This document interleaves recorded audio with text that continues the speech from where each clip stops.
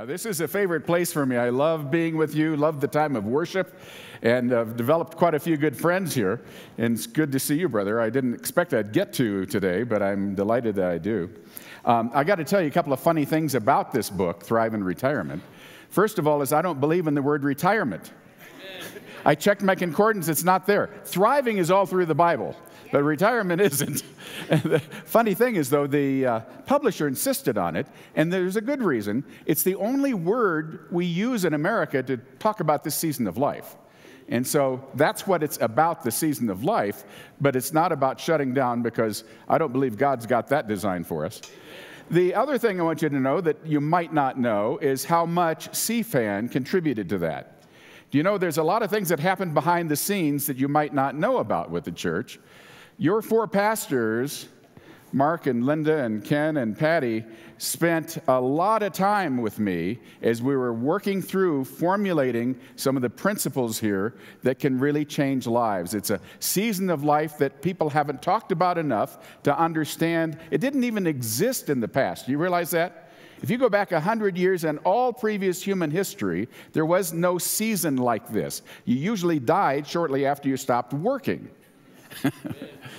But these days, the common thing is after you hit 65, you have another 20 to 30, maybe even 40 years of active life. And so that's, that's a great privilege, but people don't know what to do with it. They say, uh, What am I going to do? I don't know. I just want to enjoy myself. Well, that sounds very nice. The only catch is, did anything significant happen in your life in the previous 30 or 40 years? You think you can go through that with no planning and nothing's going to happen to you? No, I think you need to think about it, and that's what the book's about. So I hope you get a chance to look at it. And it's not just for older people, it's about principles of life that apply to everyone. So whether you're 16 or 60 or 20 or 80, there's great truths in here for you. Hope you enjoy it. Well, got a lot of smart people in this room. And I wonder do any of you, for entertainment, ever play trivia Okay, some of you go for this. I want to show you some quotes. These are familiar quotes. I think you've all heard them. They're spoken often. Here's the trivia question What do all these quotes have in common? Aha, somebody knew that right off. They are all from the Bible. They originated from the Bible. There are dozens of familiar statements that originate from the Bible, and I want to particularly call your attention to the last one eat, drink, and be merry. That's an especially popular one. That shows up in your Bible three places. And the last time it shows up, in Luke chapter 12, Jesus spoke it, and we're going to be talking about that in a moment. It's also very popular for other reasons. Uh, if you go to Etsy, it's one of the most popular things that people put in their kitchens. so if you want to uh, do that, you can find 2,000 ways to do that that are posted on Etsy. Very popular. What we're going to be talking about today is dreams. And for some people, eat, drink, and be merry is a dream. Well, eat, drink, and be merry is something that God's in favor of. He actually ordered that we have festivals and celebrations. That's a good thing. But if that's your only dream, that might get you in trouble. Can you imagine? Okay. So, what do you consider a dream. What do you consider your dream? There are several kinds of dreams, of course. You can uh, have the dreams that you get from eating pizza just before you go to bed. That's one kind of spontaneous, normal dream. And then there are supernatural dreams. Those are spectacular. I did quite a bit of work in the Middle East, and many Muslims who come to Christ do so because the Lord shows them who He is in a dream, reveals Himself.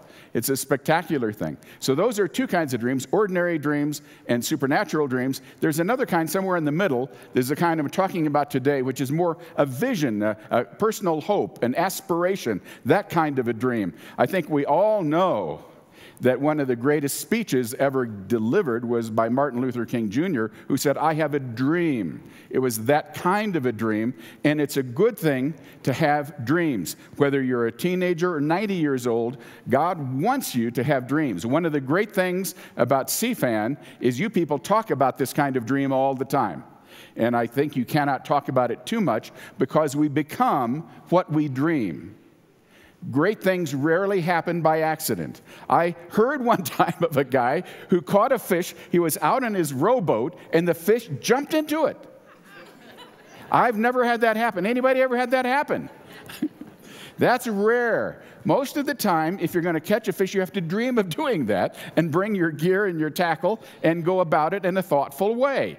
And that's true with most of the good things in life. You have to dream it. There was a doctor named Jonas who just hated polio. And he dreamed that one day it could be eradicated. And there is now a vaccine that carries his name, Jonas Salk. And polio is eradicated. But it began with a dream. He said, Hope lies in dreams, in imagination, and in the courage of those who dare to make dreams into reality. Have you ever noticed with sports, whether pro sports or college sports, you can have a team that's failing and they change the coach, same team, and suddenly they start winning. Now, some of it's technique, but most of it is the dream. The coach has been able to persuade the team that they can do it. And then when they do have that dream, they're able to begin winning. Well, I have a dream. I have a dream because I read Joel chapter 2. It says, Old men will dream dreams. there are some old men that dream of the good old days. That's not what it's talking about. It's possible to dream of heaven. That's a good thing, but that's not what it's talking about. It's to dream that God is going to do something mighty in my life. That's the dream. And we're all supposed to have those dreams. And it's so important because one of the handful of top important passages in the Bible to me is Psalm 37 4. It says, If you delight yourself in the Lord, we're there, aren't we? I heard it from you today. You delight yourself in the Lord. What do you get? He'll give you the desires of your heart. What if your heart is empty? What if you have no desires? God can give you exactly what you are ready for nothing.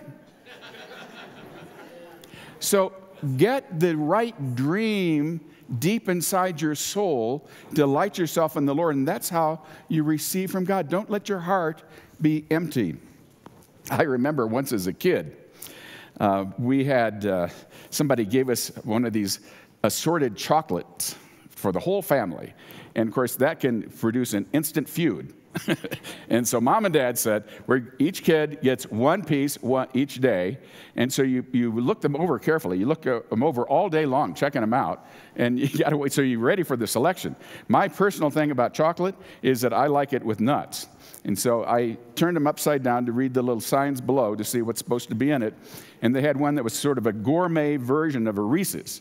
And it had some sort of a peanut filling in it. So I was waiting for it and hoping my sisters didn't pick it before me. So when my turn came, I picked it. And I was excited. It looked so good. And my first bite tasted good. I like chocolate. But then, huge disappointment.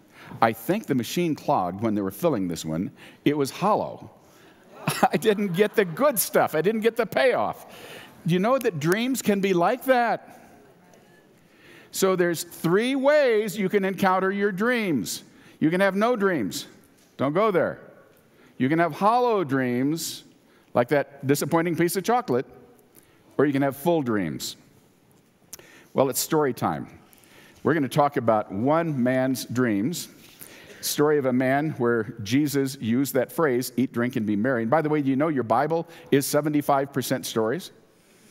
So if you like stories, you ought to love your Bible. There's a lot of good stuff in there. Um, stories are popular these days, too. We have a new type of story since the internet came around, social media. They're called memes. Have you ever seen these things? They have a little story that's a picture and then just a few words, and they can be very entertaining, like, like that one. Now, but before the era of the internet, people still use stories to communicate big ideas. And when Jesus did that, they would often put a label on it. Instead of a meme, they'd simply say it's a parable. Parable is an earthly story with a heavenly meaning, somebody said. Okay.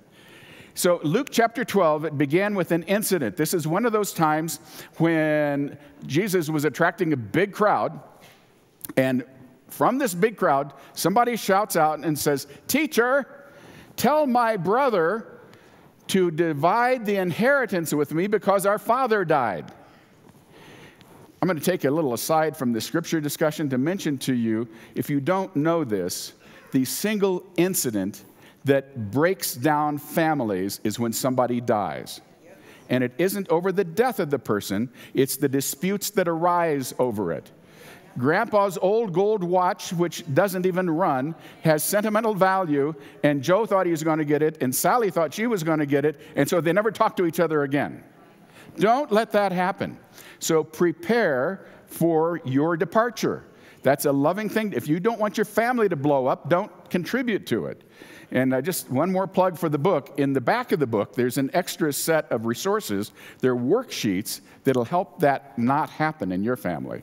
So love your family by being prepared. Have a good will, fresh up to date. They usually need to be updated every five years. But in addition, there's a lot of other information that needs to be covered. Okay, enough said about that. Jesus' response was a bit of a surprise because Jesus changed the subject. Have you ever had a situation where you took something to the Lord and the answer you got wasn't the one you were expecting? Now, let me tell you what can happen if you're not accustomed to taking things to the Lord. Number one, you can take anything to the Lord, any subject at all. He's happy to have it. He's happy to even hear your anger. If you're frustrated, you can talk to him about that. That's a good thing to do. Don't bottle it up, share it with him. However, be aware that what's going to happen is God will respond especially if you're listening for it. And it may not be what you're expecting, and that's what he did with this fellow. He said, Who put me in charge of those kinds of disputes with you?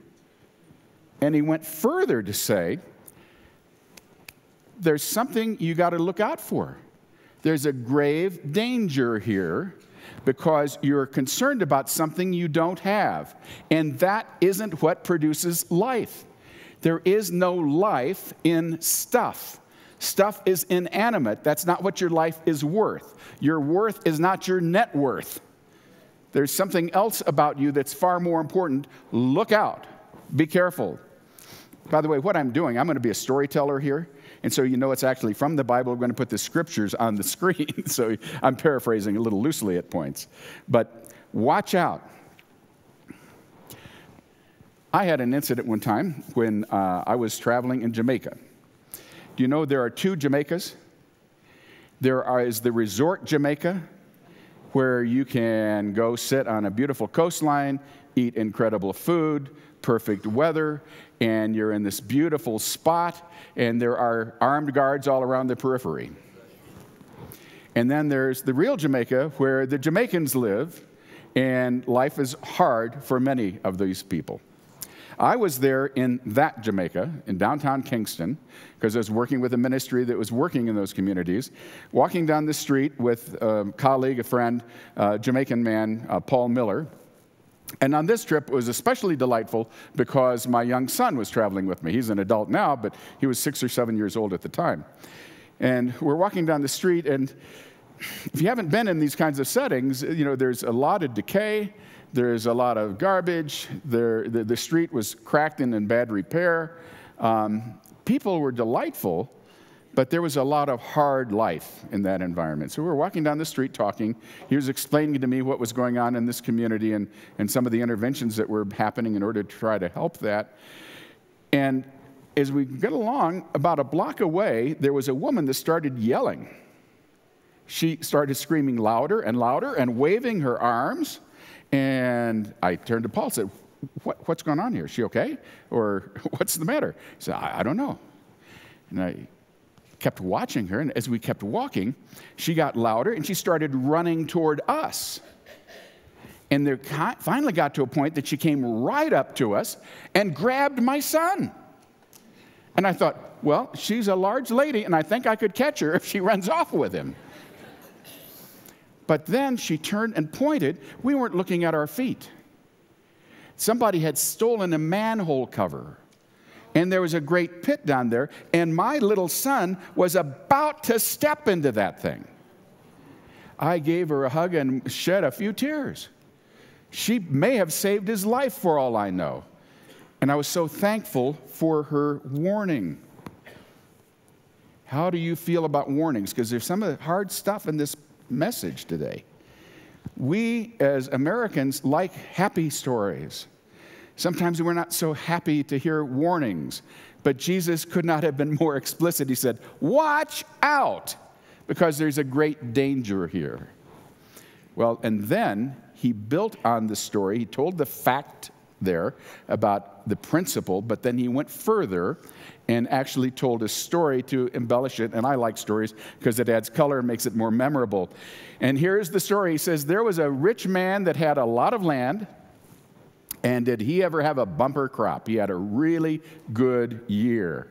And so what happened was, with this abundant harvest, the guy says to himself, Hmm, what am I going to do? My barns can't hold all the stuff. This is better than I ever imagined. It's what I wanted. You know, we have so many phrases to talk about that kind of a setting. We could say he hit pay dirt, or we could say uh, he was living the dream, okay? Or he had a bumper crop. Uh, he's ready to be in the lap of luxury, big success, moving to Easy Street, one big, okay? We're used to talking about that, and that's exactly where he was. But now back to the story he says, I know what I'm going to do. I'm going to tear down my barns and build bigger ones, and then I'm going to say to my soul, Soul, take it easy from here on. You're set. Eat, drink, and be merry. And then as the story goes on, God spoke to him and said, You're a fool. Because if that's your dream, you're going to die tonight. You're never going to see that dream. That dream's going to go poof it's going to be gone. There is a season to party, but that can't be your only dream. And then Jesus takes it a step further, lest we miss the point. And he says, So it is with everyone who has the wrong kind of dream and is not rich toward God. Amen. This brought me up short, and I'll tell you why. Again, thinking about retirement, I've been thinking a lot about it in the last couple of years in writing this book and the popular notions about retirement. This story is a perfect picture of the American view of retirement. How could it have been more successful? This was an honest man. There's nothing in this story to hint that there was anything dishonest about what he did. God blessed his fruitfulness, his yield was great. He had a lot of prosperity, honest prosperity. He's set for the rest of his life. Isn't that the picture of a perfect retirement or a perfect life? And you don't have to be retirement age. Has anybody ever bought a lottery ticket? Don't raise hands. Has anybody ever negotiated and said, God, if you'll just let me win this one, I will tithe double? Why? So I can eat, drink, and be merry just be on vacation for the rest of my life. Something about that is very sobering because Jesus said that was foolish. And Jesus isn't a killjoy. Actually, the New York newspaper, the Daily News, did a, uh, long story on lottery winners. The headline was The Curse of the Lottery. You know what they found? Was one third of the lottery winners go bankrupt and the majority of them, 70% of them, run into financial difficulties of some kind. So they're worse off than when they won it. Wealth is not the problem. The dream is the problem. It isn't how much you have of stuff, it's how much stuff has you. One sociologist estimates that 80% of our waking hours are spent earning money, thinking about money, or spending money. Life is not measured by your possessions. There is a myth that is a popular American myth that if you just have enough money, you can live happily ever after. Well, there's a uh, great prophet in America. His name is Dr. Phil. and he has this great line. It's a question How's that working for you?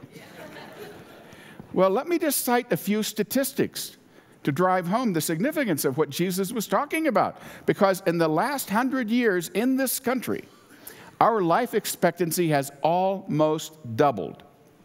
And we are the wealthiest nation in the history of humanity. And how is it going? Well, let me cite a couple of tough things. This is warning, this is cautionary. If you compare the divorce rate that's called gray divorce, This is people who have raised a family together, they paid off their mortgage together, they've lived together as husband and wife for 20, 25 years, and then they break up. That divorce rate today, compared to 1960, is up 700%. So, this dream that retirement is just one grand vacation isn't working out so well. How's it going for you? Well, 40% of older adults are clinically depressed, not just unhappy, clinically depressed. This got talked about on CNN the other day. Look at this. It's hard to believe, right? I mean, we're, we're the, one of the wealthiest countries in the world. We spend close to $4 trillion a year on healthcare, and our life expectancy is going down.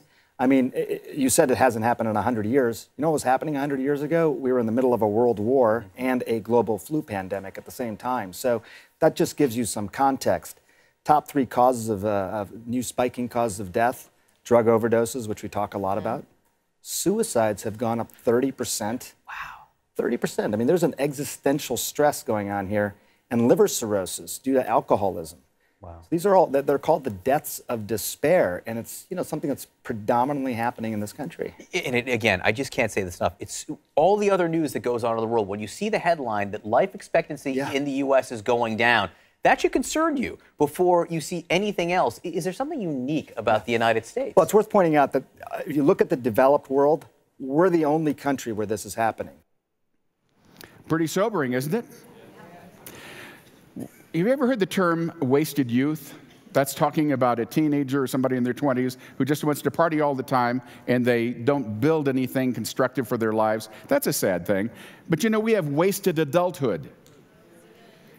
The majority of what's talked about and expected in this country is to waste retirement. You can waste any season of your life, and it really ties to what's going on on the inside and what dreams you carry. So, again, let me drive home this cautionary tale. Don't be caught with no dreams, don't fall for hollow dreams. Let's talk about full dreams. Are you ready for some good news? God has some good things in store for us. I mentioned earlier how Psalm 37 is one of my favorite passages of Scripture. The other one that I meditate on every day of my life is Ephesians chapter 2, verse 10.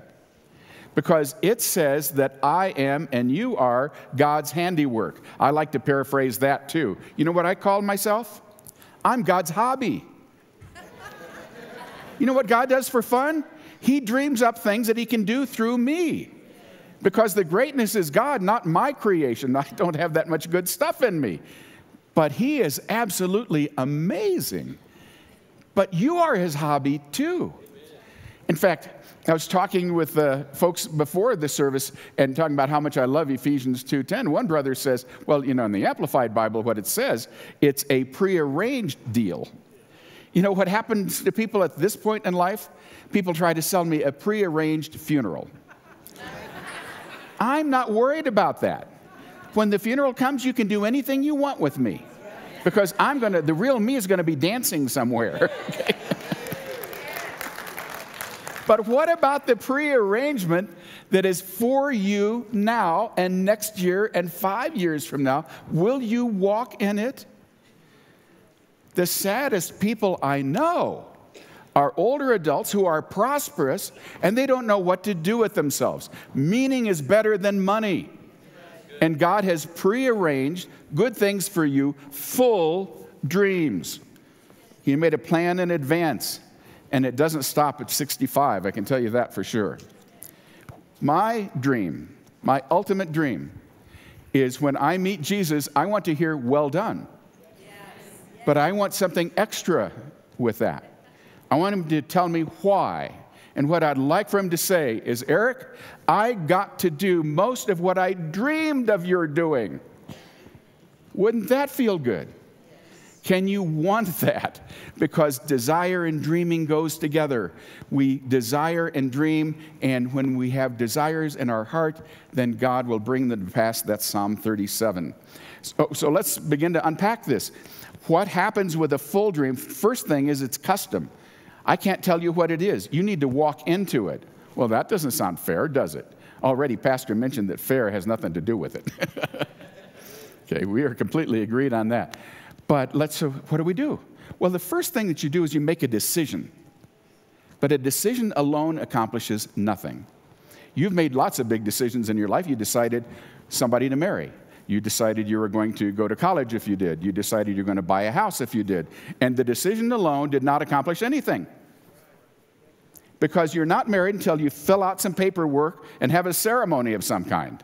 You don't get the house until you get the mortgage and you do all the paperwork. You don't even get to get a car until you do some of the steps that are necessary to fulfill the dream that you had. So, a decision is a good place to start. If you have not yet made a decision that Jesus is going to be Lord of your life, please make that decision today. And there'll be people after the service that'll meet you right down here and help you walk through that process. That's a great first step.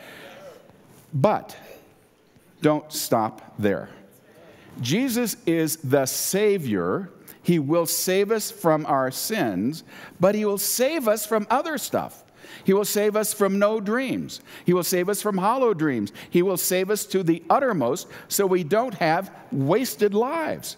God doesn't want to waste you. He loves you and you are His hobby.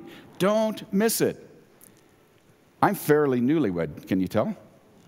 There's a good story behind it. God faithfully blessed my first marriage, and my first wife was an overachiever and made it to heaven before me.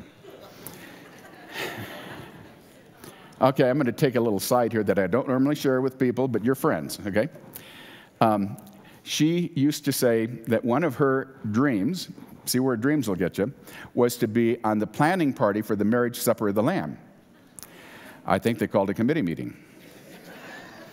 So I'm, i kind of wish she hadn't said that, but uh, God was gracious through that whole experience. But God also brought another lady into my life who had lost her husband to cancer as well. And we married about five years ago. The marriage was not the ceremony, the marriage is now. Diane and I work at it to build a life together, and because I should. Well, yeah, but that's not the real reason. The real reason is I want the benefits of being connected with her, of being close to her, and vice versa. And there's a richness that comes out of that. That's what it means to be married. And so that's what happens when you come to the Lord Jesus. You make a decision that He's going to be Lord of your life, and then actually the Bible compares that to marriage. You, you, then grow into that relationship. And one of the things that'll happen as you grow into it, you're going to find that your piece of candy's got some filling on the inside. because there's a fullness to that dream that comes about. Jesus said, Be rich toward God. How do I do that? Well, I think it really has to do with what you do on the inside more than what you do on the outside. It isn't that you have to serve more or spend more time in Bible study or the rest, all those are good things to do. But really, the issues of life happen on the inside, and that's what Jesus said to this fellow who called out to him in the crowd. Don't you understand? Your life is not worth the things that you have. It's really what's going on on the inside. And am I your dream? And do you live with me in that dream where I can create spectacular things? Prophet Jeremiah had a conversation with God one time, and the Lord said to him, I'm going to show you wonderful things. So, God's fullness for you is going to be wonderful. It's going to be custom for you, and it's going to be something He makes happen. If you delight yourself in the Lord, He gives you the desires of your heart. The, the hard stuff is on Him, but He wanted to do it, and we get to enjoy it. So don't miss that. So, We've been talking about a story, a great story, a parable that Jesus told. If you'll permit me, I would like to tell you a story that's not in the Bible. Just see if this catches your fancy. Once upon a time, this is an ancient legend from the Middle East. Once upon a time, there was a boy who was walking in the desert. If I walked in the desert, I'd get lost because to me, all sand dunes look alike. You know, without my cell phone to give me a map, I'd be in big trouble. But this boy knew his way around the desert. And he was walking along, and everything looked normal, looked familiar to him, until in the distance, he thought he saw a dot. And he decided that he would uh, pursue what that was and go walk over by it. And it looked stranger and stranger. It was small, but it just didn't belong there.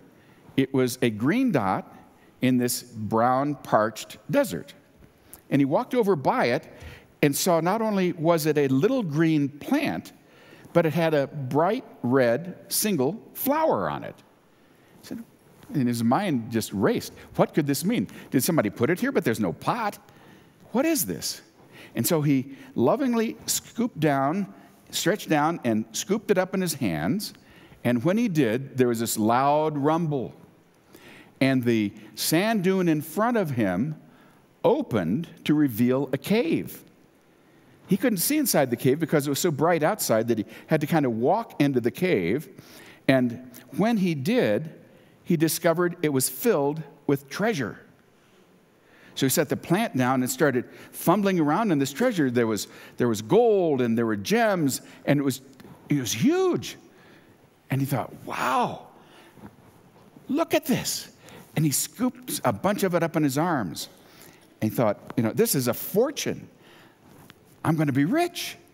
And he turned and started to walk back out into the sun, and a voice came and simply said, Don't forget the best. Okay?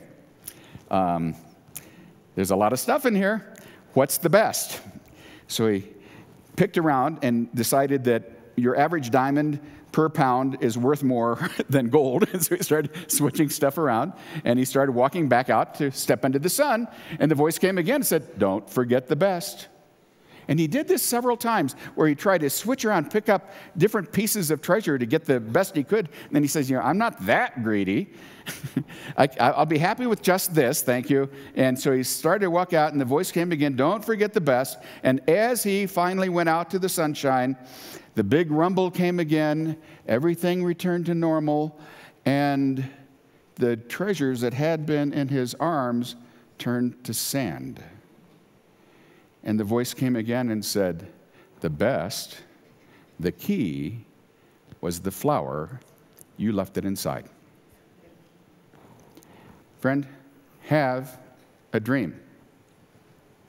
Don't fall for hollow dreams. But don't forget the best. Be rich toward God. Have your way with us, Lord.